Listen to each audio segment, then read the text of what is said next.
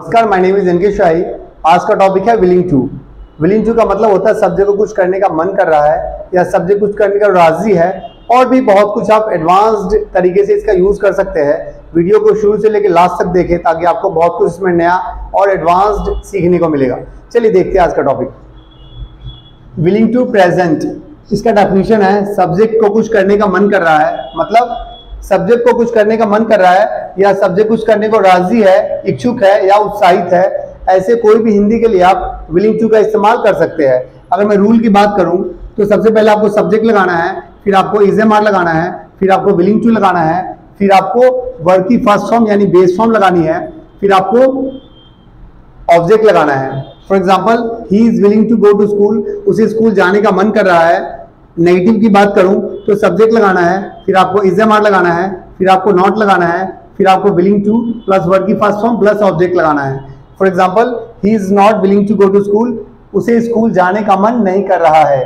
तो willing to का इस्तेमाल आप कुछ करने का मन कर रहा है कुछ करने का मन नहीं कर रहा है इसके सेंस में आप सिंपल और नेगेटिव सेंटेंसेस में कर सकते हैं। अगर इंट्रोगेटिव की बात करूँ इंट्रोगेटिव में आपको पहले इजेमार लगाना है फिर आपको सब्जेक्ट लगाना है फिर आपको विलिंग टू लगाना है प्लस वर्ड की फ़र्स्ट फॉर्म प्लस ऑब्जेक्ट लगाना है। For example is he willing to go to school क्या उसे स्कूल जाने का मन कर रहा है?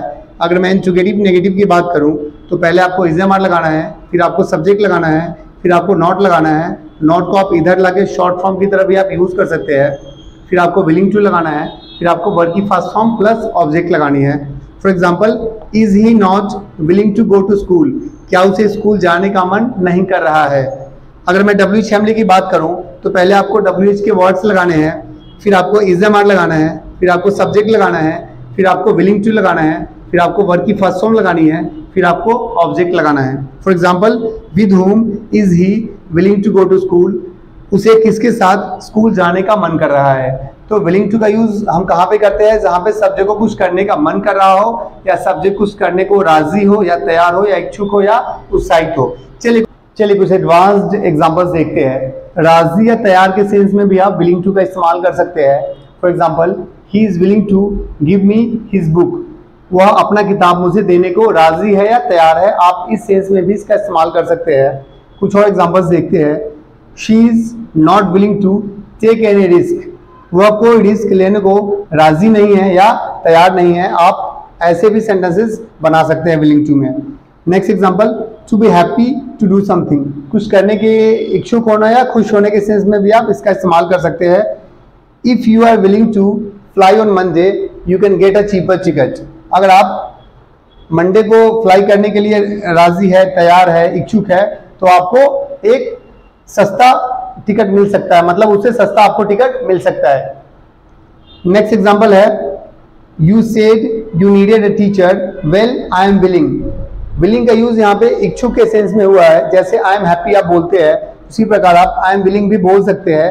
इसका मतलब होगा, मैं इच्छुक हूँ या मैं तैयार हूँ। इस सेंस में भी आप इसका इस्तेमाल कर सकते हैं। ये एज एन एजेक्टिव यहाँ पे इस्तेमाल हो रहा है, इस बात का ध्यान रखिएगा।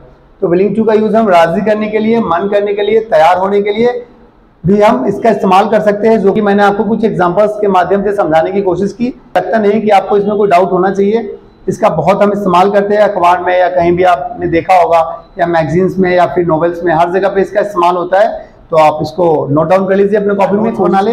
और अगर आपको कोई डाउट्स है तो मुझे कमेंट करके कमेंट बॉक्स में बता सकते हैं और अपना फीडबैक भी मुझे दे सकते हैं।